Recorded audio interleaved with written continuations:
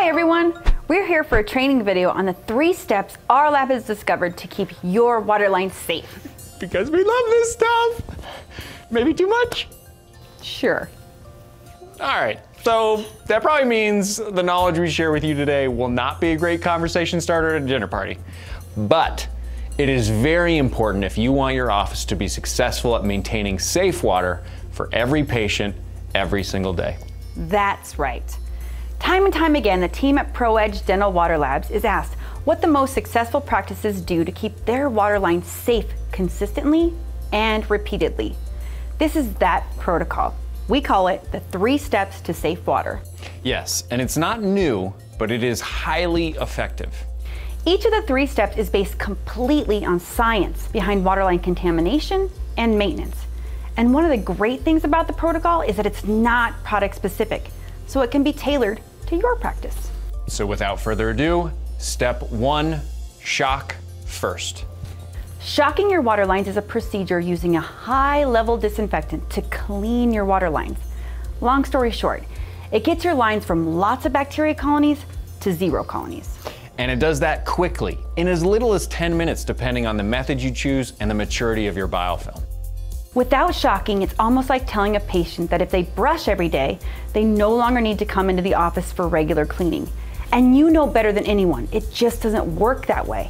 Yeah, I love that super clean feeling on my teeth after a visit. It's like so smooth. Regular cleaning by a professional dental hygienist is vital to keeping teeth free of biofilm and regular shocking does the same for water lines. Which brings us to step two. Use what is called a daily or continuous treatment or maintenance product. Right. Now that you've shocked your lines super clean with a powerful disinfectant, you can maintain that cleanliness with a daily or continuous treatment product, like tablets or straws. So using a continuous treatment is like brushing every day. Yeah, you've got it.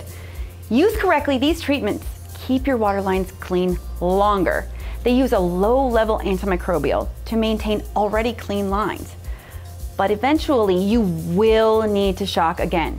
And how will I know when that is? When your practice is first implementing a regular shock into your protocol, we recommend you do it at least quarterly. After that, use testing to determine if you can go longer.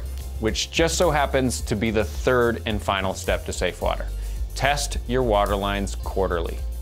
Testing is the only way to know if your protocol is effective and performed correctly. It's also the only way to protect your practice should there be a complaint, inspection, or infection. If you cannot validate your water safety with documentation, it won't matter how much time or resources your team invests into treating. Dental boards and agencies will require to review records of successful waterline tests if a problem arises. Here's the good news though. Our lab sees that practices that test quarterly get the best results. That's right. When there is regular feedback and accountability, improvement happens steadily and compliance becomes really consistent. So, one, two, three shock, treat, test. If your practice implements this protocol, not only will it prove your dedication to high standards, but it will help keep your patients and practice safe. See, I never understand why this isn't a great conversation starter at a dinner party. I mean, you got the mystery, you got the danger, you got a decisive dental pro hero who's taking decisive action. He's making it happen. This is fun. No? No?